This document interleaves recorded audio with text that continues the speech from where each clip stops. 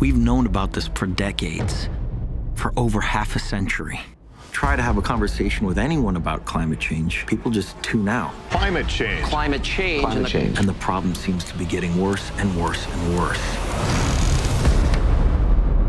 Submerged in floodwater after rivers continue to flow above the danger level. People living in low-lying areas of the North Uttar Pradesh state were fleeing to safer ground.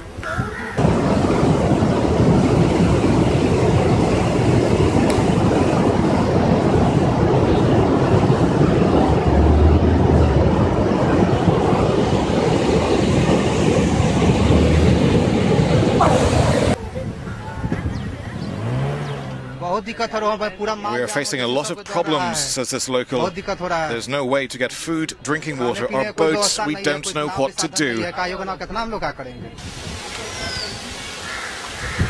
Water has been gushing into the area for the last three days, he says.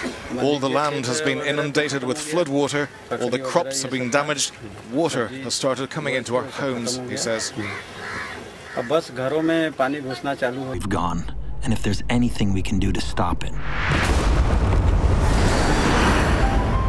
The U.S. has been the biggest emitter of greenhouse gases in history. You're a fossil addicted country. We are doing more investment in solar today than the US is.